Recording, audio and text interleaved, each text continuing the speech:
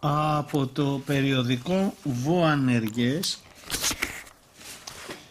τεύχος 62 ο Ιερός Αργών Αρτέμιος Ξενοφοντιανός.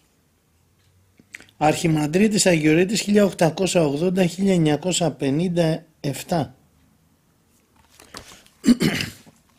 Πολλοί οι εκδιώκοντές με και θλίβοντές με εκ των μαρτυρίων σου ούκ εξέκλυναν ψαλμός πι γιώτα ήτα. Πατρίδα του εμνής του πατρός Αρμενίου είναι τα Δολιανά Ιωαννίνων. Οι γονείς του Αθανάσιος και Κωνσταντίνα Ξούγκο απέκτησαν τρία παιδιά μεταξύ των οποίων τον Αναστάσιο, τον μετέπειτα πατέρα Αρτέμιο. Οι δυσκολίες αγροτικής οικογένειας που κάτω από τον τουρκικό ζυγό δεν του επέτρεψαν να πάρει περισσότερες από του τότε σχολαρχείου γνώσεις. Έπρεπε λοιπόν να εργαστεί για να προσφέρει τα προστοζήν και να μετριάσει κάπως τα βάρη φορτίου των γονέων του. Το εφηβικό όμως μυαλό του αναζήτησε κάποιον τρόπο για να κερδίσει τα απαραίτητα μακριά από τις πολλές κοπιαστικές και με ελάχιστη απόδοση αγροτικές ασχολίες. Αποφάσισε λοιπόν παρακινούμενος ίσως να ξενιτευτεί για ένα διάστημα στην Αίγυπτο πιστεύοντας πως εκεί θα επιτύχει κάτι καλύτερο από ό,τι στο χωριό του. Η θέληση όμως του Θεού που ενεργεί χωριστά για κάθε έναν από εμά, δεν του επέτρεψε να πραγματοποιήσει το σκοπό, το σκοπό του. Και ενώ βρισκόταν σε ένα καφενεδάκι σε μια γωνιά της Αθήνας, του εχμαλωτίζει την ψυχή με την αγάπη προς το Πανάγιο του πρόσωπο. Και να πως συνέβη αυτό, είχε φτάσει στην Αθήνα για να κάνει τις απαραίτητες προετοιμασίες για το ταξίδι του στην Αίγυπτο. Κουρασμένος από το πολύ κάποια μέρα κάθισε σε ένα καφενείο για να συγκεντρωθεί. Σε λίγος στο διπλανό τραπέζι βλέπει να, κάθεται, να κάθονται ένας μοναχός με δύο λαϊκούς που φαίνονταν να συζητούν κάποιο σοβαρό του ζήτημα. Χωρίς να το θέλει το αυτί του πήρε λίγες λέξεις του μοναχού. Τον εντυπωσίασαν πολύ και μετά προσιλώθηκε στη συζήτηση. Ο μοναχός με παράδειγματα συμβούλευε τους άλλους δύο. Μεταξύ των άλλων δύο που ανέφερε και το περιστατικό με την Αγία Μεγαλομάρτυρα και Απόστολο Θέκλα και τους διώκτες της. Ότι δηλαδή κάποτε στη σπηλιά που ασκήπτευε μεγαλομάρτη Θέκλα την επισκέφτηκαν νύχτα νεαροί δολολάτρες με κακό σκοπό. Ο Θεός όμως δεν επέτρεψε να γίνει το θέλημά τους και αερά τους τους ακινητοποίησε έξω από τη σπηλιά της Αγίας. Έμειναν όλη τη νύχτα έτσι και το πρωί σαν αντίκρισαν την Αγία να βγαίνει από το ασκητήριό της μετανιωμένοι της εξορμολογήθηκαν την αμαρτία τους και ζήτησαν συγχώρεση. Η Αγία τους νηξέρεσε και τους έλυσε από το αόρατο εκείνο δέσιμο. Όλο αυτό το θαυμαστό γεγονός εντυπωσίασε ιδιαίτερα τον νεαρό Αναστάσιο που με απορία και θαυμασμό είπε στον εαυτό του ώστε που τόση μεγάλη χάρη και δύναμη λαμβάνουν οι Άγιοι από τον Θεό χωρίς πολύ να σκεφτεί τότε κάνει τη μεγάλη εκείνη στροφή της ζωής του. Αντί προς τον νότο στην Αίγυπτο παίρνει το δρόμο προς το βορρά. Φεύγει για το Άγιον Όρος καταστάλεξε την Ιερά Μονή Ξενοφόντος όπου έζησε ως μοναχός επί 30 ολόκληρα χρόνια. Για τα 37 όμως χρόνια της καλογερικής του ζωής δεν μιλούσε συχνά ο πατέρας Αρτέμιος. Γνωστό είναι μόνο ότι υποτάχθηκε σε γέροντα που τον δοκίμασε σκληρά στις αρχές υποταγής του τον έστειλε να κόψει πουρνάρια για το φούρνο. Ο, ο υποτακτικός παιδί ακόμη για να μην τρυπήσει τα χέρια του προσπαθούσε να πιάσει από χαμηλά και πολύ προσεκτικά το πουρνάρι.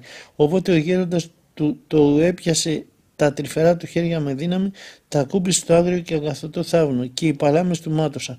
Μετά την εφαρμογή του νέου ημερολογίου στην Ελλάδα ο Αρτέμιος κατέληξε στη μονή της μετανοίας του διότι παρόλο που και αυτή ακολουθούσε το παλαιό ημερολόγιο δεν έπαυσε το μνημόσυνο του καινοτόμου πατριάρχου.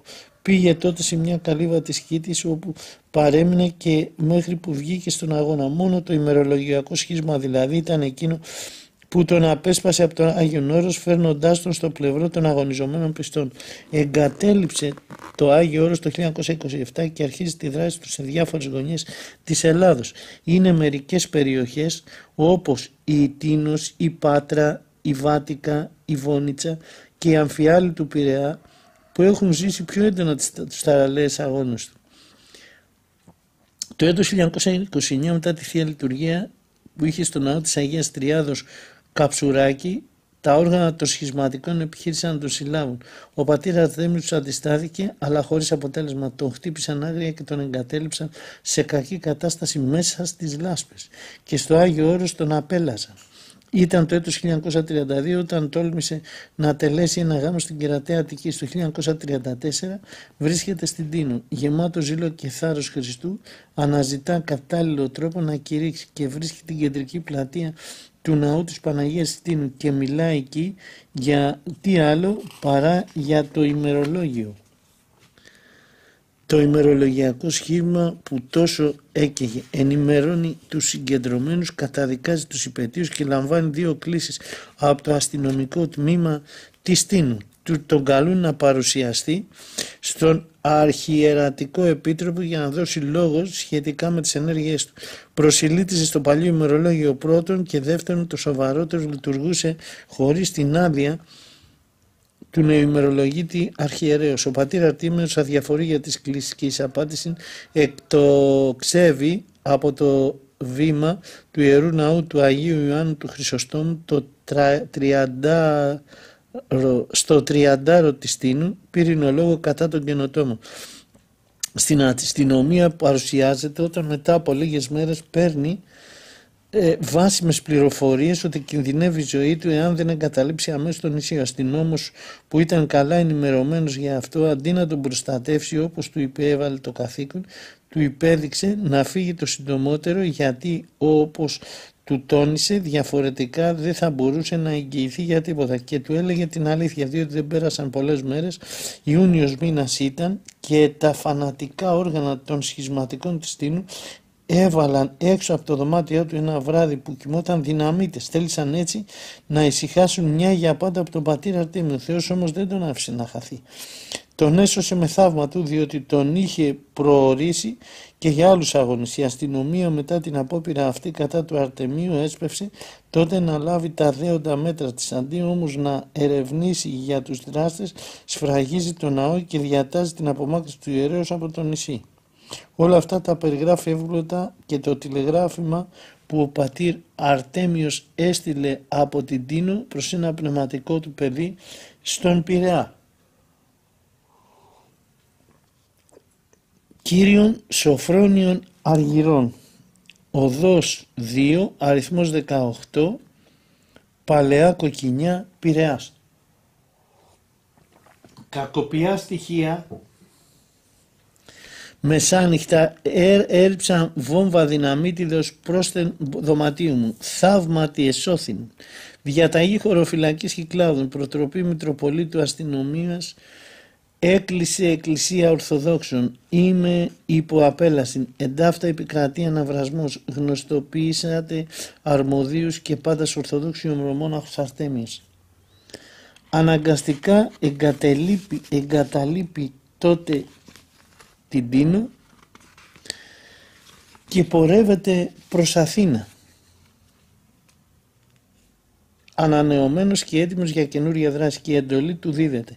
Η Πάτρα έχει ανάγκη από την παρουσία ενός δυναμικού ιερέως, εγκαθίσταται εκεί όπου και εργάζεται υπεράνθρωπα λειτουργεί τακτικά στο εξοκλήσι του Αγίου Ιωάννου του Προδρόμου, ξομολογεί και νουθετεί πλήθος πιστών που έρχονται να πάρουν τη συμβουλή του και ποτέ δεν χάνει την ευκαιρία και τα δύο λόγια, να, να πει δύο λόγια στους πιστούς και προσδόξαν Θεού ημέρα την ημέρα πολλαπλασιάζονται. Αυτοί που η δημιουργική προσπάθεια στην Πάτρα δεν πέρασε απαρατήρητη από το μεγάλο δίωχο των Γοχ αρχιερατικό επίτροπο Γερβάσιο Παρασκευόπουλο.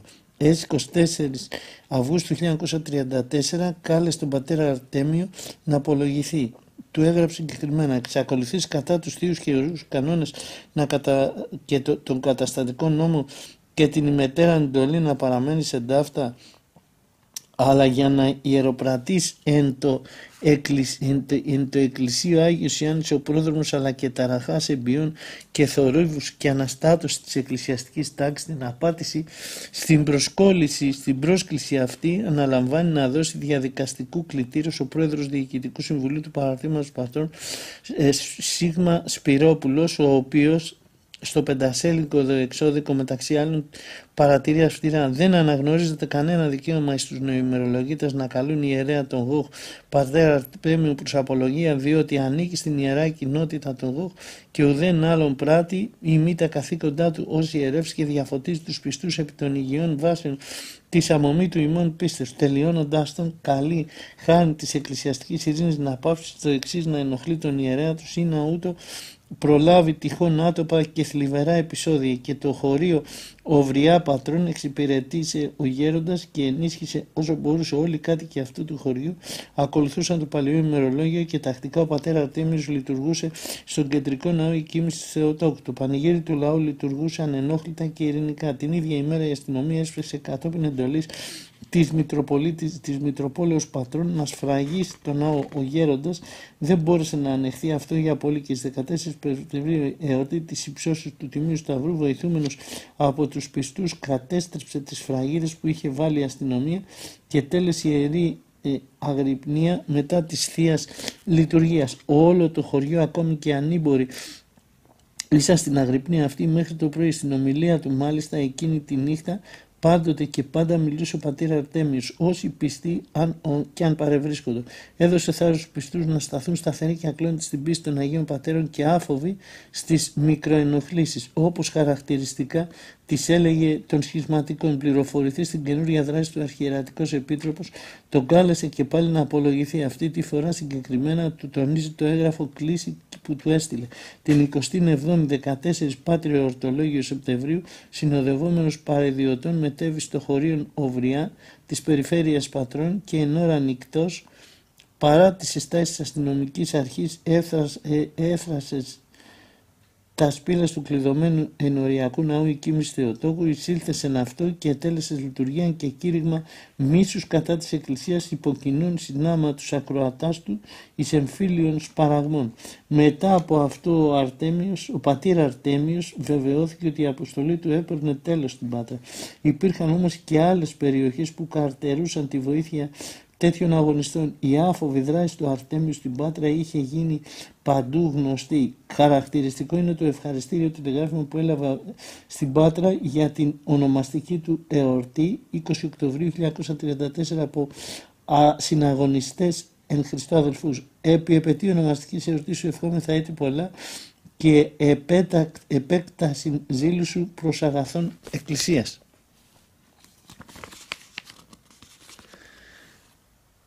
Παρθένιος, Σακάκιος, Ιλαρίων, Αντώνιος, Ευστράτιος, Σεβυριανός, Μουστάκας, Κερεμελές, Σπυρόπουλος. Το Φεβρουάριο του 1935 κρατείται στις φυλακές Λευκάδος λόγω επικίνδυνης δράσεως τους στο μοναστηράκι της Βόνιτσας. Το επίσημο αυτό δημοσιογραφικό έγγραφο της κοινότητας κήρυξη των Ορθοδόξων στο φύλλο 25 Φεβρουαρίου 1935 δημοσιεύει την πρώτη σελίδα της φωτογραφία του πατρός Αρτεμίου από τη, από τη φυλακή. Κάτω δε από αυτή σημαίνει, σημειώνει. Από τα μαρτύρια των παλαιομορολογητών ιερέων, ο ιερομόναχος πατήρ Αρτέμιος λειτουργήσε στο μοναστηρίο Βονίτσης κατά το Ορθόδοξων Εκκλησιαστικών ημερολόγιων συνελήφθη κατά τη διαταγή του τυράννου Μητροπολίτου Ακαρνανίας Ιεροθέου και κατακρατείται ήδη στα σκοτεινά φυλακάς Λευκάδος ε, επί παλαιομερολογητισμού. Τα Χριστούγεννα του έτους 1937 ε, βρίσκεται και πάλι στην Τίνο για να δώσει θάρρος στους τινίους αδελφούς που τόσο αγαπούσε. Δεν κατάφερε όμως να μείνει πολύ εκεί διότι εξαιρετικός επίγους αστυνομική διαταγής 17 Ιανουαρίου 1937 τον υποχρεώνει όπως εντός της ημέρας να εγκαταλείψει το νησί. Τόσο πολύ επικίνδυνος είχε γίνει ο πατήρ Αρτέμιος στους ημερολογίτες. Εκτός από τους ακατάπαυτους αγώνες του, τον πατέρα Αρτέμιο χαρακτήριζε χαρακτήριζαν και ορισμένες ευγενικές συνήθειες. Το Πάσχα, συγκεκριμένα μετά την αγάπη, κρατούσε στο τραπέζι όσοι από το εκκλησίασμά του γνώριζε ότι είχαν συγγενείς ή φίλους, τους έδινε έτσι δεν είχαν συγγενείς ή φίλους. Τους έδινε έτσι λίγη χαρά και στοργή. Ένιωθε και πρόσφερε την πραγματική αγάπη. Πολλές φορές αναγκάστηκε να μείνει στα σπίτια πραγματικών του παιδιών. Όπως μας διηγήθηκαν ήταν πολύ απλός και διακριτικός σαν να, υπήρχε, σαν να μην υπήρχε μέσα στο σπίτι. Αποτραβιόταν στο ιδιαίτερο δωμάτιό του και αφοσιωνόταν στην ανάγνωση και την προσευχή. Όταν δεν βρισκόταν μέσα στην οικογένεια Πάντοτε κάποιο διδακτικό πατερικό θα έβρισκε να μας διηγηθεί με τον αγιορείτικο τρόπο και να τους εφραίνει πνευματικά. Σε εορταστική τράπεζα χειρόταν πολύ να ψάλει ανεξαρτήτου εποχής το Αναστάσιμο. Ο άγγελος ευώατη και χαριτωμένη αγνή παρχθενε χαίρε και πάλι χαίρε. Νίστευε πολύ και όταν έπρεπε λόγω ασθενείας του και τον πίεζαν να καταλύσει έλεγε ένα κρεμμύδι θα, θα στύψω και αυτό θα φάγω. Κάποτε μάλιστα το 1932 που βρισκόταν στο σπίτι του, Αργυρού, του κυρίου Αργυρού στην παλιά κοκκινά έτυχε να αρρωστήσει βαριά. Κάλεσαν τότε το γιατρό Χρυσοχέρι. Του συνέστησε υπερτροφία πράγμα που του σήμαινε κατάλυση της νηστείας και ο πατέρας Αρτέμιος για να μην να, σαν να μην το κατάλαβε τον ρώτησε με το δικό του τρόπο γιατί κάνει να τρώω, γιατρέ κάνει να τρώω φασόλια. Ποτέ του δεν κρατούσε χρήματα για μια δύσκολη στιγμή. Μόνο όσα νόμιζε ότι, ότι ήταν απολύτως αναγκαία για να συντηρήσει τις συνοδείες του. Είχε απόλυτη πίστη στη Θεία Πρόνοια. Στα χρόνια της γερμανικής κατοχής και της μεγάλης πείνας πολλοί θυμούνται μέχρι σήμερα τον γέροντα πατέρα Αρτέμιο. Μόλις εξοικονομούσε λίγο ψωμάκι, πράγμα σπάνιο για τα χρόνια εκείνα, το έκρυβε κάτω από το ράσιο του και έτρεχε να το βάλει στο στόμα πεινασμένων παιδιών. Έγινε ο σωτήρας πολλών τη δύσκολη εκείνη εποχή. Στα χρόνια επίσης κατοχής με την νηστεία και την προσευχή του ελευθέρωσε από φοβερό δαιμόνιο την Αντιγόνη, μία κοπέλα που του έφεραν από την Πάρτερ. τη συμπεριφορά του προς τους ανθρώπους εναρμόνιζε πάντοτε προς το αποστολικό πειθαρχήν δι Θεό μάλλον οι ανθρώπους πράξεων ε29 έτσι όταν οι Γερμανοί κατακτητές έφυγαν και κυριάρχησαν για λίγο καιρό στην περιοχή της ενορίας του στον Άγιο Μινά Αμφιάλης οι κόκκινοι δικτάκτορες κομμουνιστές δεν φοβήθη να τους ελέγχει δημόσια για την απιστία και τη σκληρότητά τους σε σημείο που το λαϊκό αντάρτικο δικαστήριο να ασχοληθεί βγάζοντας μάλιστα για το γέροντα και καταδικαστική απόφαση. Τα δε πνευματικοπαίδια του τα φοβέριζαν λέγοντάς τους «Σε ένα στυλιάρι θα σας φέρουμε ε, στο κεφάλι του γέροντάς σας» θα σας φέρουμε το κεφάλι του γέροντά σας. Με τις προσευχές των πιστών ο Άγιος Θεός ξεκαθάρισε πολύ γρήγορα την περιοχή αυτή αλλά και ολόκληρη την Ελλάδα από τη δυναστεία του κόκκινου αυτού μοιάσματος και, με, και κατά συνέπεια και η απόφασή τους έμεινε ανεκτέλεστη. Οι μισάνθρωποι, οι αντίχριστοι, οι ευρεόφιλοι και οι σατανόδουλοι ε, ε, κομμουνιστές. Στον Άγιο Μινά πέρασε τα τελευταία χρόνια της ζωής του. Παρέλαβε το έτος 1938 τον Άγιο Μινά ένα μικρό τόσο δά εκκλησάκι 12 τετραγωνικά μέτρα, το οποίο με τον καιρό το μεγάλωσε. Εκεί ως μόνιμος εφημέριος κυριολεκτικά θυσιάστηκε προς εξυπηρέτηση των γόχινων ρητών του. Με αγάπη και νοσταλγία θυμούνται τα πνευματοπαίδια της κατανεκτικής ονονηθής που θύμιζε που συνήθιζε ο γέροντας να κάνει καθώς και τη χαρακτηριστική βροντερή φωνή του που τους κρατούσε ενεγρηγόρση όλη τη νύχτα. Όταν οι ψάλτες χαμήλωναν καμιά φορά τη φωνή τους, λίγο έβγαινε στην ωραία πύλη και άρχιζε τη δυνατή φωνή του να τους βοηθά. και σε καιρό διωγμού Ακόμα η φωνή του βροντοφωνούσε το ίδιο δυνατά ενώ τον παρακαλούσαν. Ποιος σιγά πατέρα Αρτέμι θα μας ακούσουν απ' έξω. Ακριβολόγος στα της πίστεως όταν του παρα που του παρεπονούντο γιατί δεν τελούσε μυστήρια σε νοημερολογία της απαντούσε δεν εγκατέλειψα τη μονή της μετανοίας μου για να εξυπηρετήσω σχισματικούς. Τούτο ας γίνει έλεγχος και δίδαγμα για πολλούς σημερινούς κληρικούς καιροσκόπους. Στο μεγάλο διωγμό του 1951 βρισκόταν στον Άγιο Μινά και δεν έπαυσε να λειτουργεί στα κρυφά. Τα αστυνομικά όργανα που το είχαν αντιληφθεί έκαναν πολλές φορές ευνηδιασμού για να τον πιάσουν. Τίποτα δεν κατάφεραν παρόλες τις παρακολουθήσεις τους. Μη μπορώντας λοιπόν να κάνουν κάτι περισσότερο, κάρφωσαν καλά για πιο ασφάλεια την πόρτα του ναού με σανίδες παρόλο που ένα λουκέτο τη τόλιζε μόνιμα. Αυτό ήταν πολύ προκλητικό για τον αγωνιστή πατέρα Αρτέμιο που στο τέλος δεν το άντεξε, έπαιρνε μία ημέρα ένα σκεπάρνι και μετά ξεκαρφώνει τις σανίδες από την πόρτα αλλά ξυλώνει και ολόκληρη την πόρτα του ναού μονολογώντας για να δω τώρα πού θα βρουν πόρτα να κλείσουν. Οι συνεχείς αγώνες στα γυρατιά και οι ασθένειες που είχαν καταβάλει το γέροντα.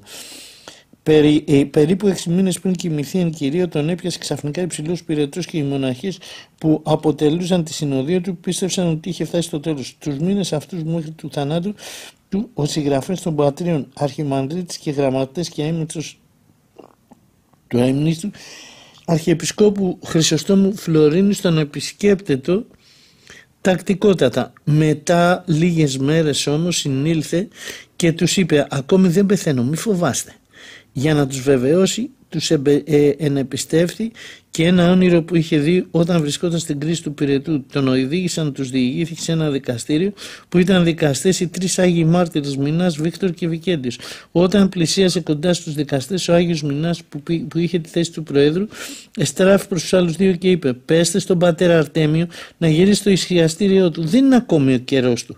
Επτά ημέρες πρώτου θανάτου του Κυριακή Ορθοδοξίας 1957 όταν θέλησαν να του βγάλουν φωτογραφία τους ρώτησε επειδή θα πεθάνω μου βγάζετε φωτογραφία; Μετά τον εσπερινό της ίδιας μέρας χτυπά τον μπαστούνι του στην πόρτα της τράπεζας Πάντα το συνήθιζε. Όταν ήθελε να μπει μέσα, βρήκε τις αδελφές να τρώγουν και τους είπε «Αυτή τη φορά είναι σίγουρο ότι φεύγω». Ο Αρχάγγελος ε, Μιχαήλ μου παρήγγειλε να ετοιμαστώ την άλλη μέρα Δευτέρα ήταν, έπεσε ξαφνικά βαριά άρρωστο στο κρεβάτι. Ο γιατρός που έφεραν διέταξε να μεταφερθεί επιγόντω στην κλινική. Είχε πολύ και μεγάλη ανάγκη. Την Τρίτη, ενώ τον ετοίμαζαν για να τον φέρουν στην κλινική, τους είπε προφητικά το παραπάνω. Πέντε ημέρες που μένουν να ζήσω ακόμα. Αφήστε με εδώ να πεθάνω. Στο κελάκι μου. Τον μετέφεραν στην κλινική Λευκό Σταυρού του Λαμπράκη και μάλιστα τον έβαλαν στο ίδιο δωμάτιο που πριν 9 χρόνια είχε νοσηλευτεί και, και κοιμηθεί η κυρία αείμνηστος αρχιμαντρίτης πατήρ Μαρτύριος Ζούλιας εφημέριος τότε του Ιερού Ναού Ευαγγελιστρίας Καραβά Πυραιός. Την Παρασκευή την των Δευτέρων Χαιρετισμών παραμονή της, της κοιμήσεώς του κάποια αδελφή του διάβαζε τους χαιρετισμούς της Θεοτόκου. Στο τέλος ο πατήρ Αρτέμιος προαισθανόμενος το θάνατό του ζήτησε συγχώρεση.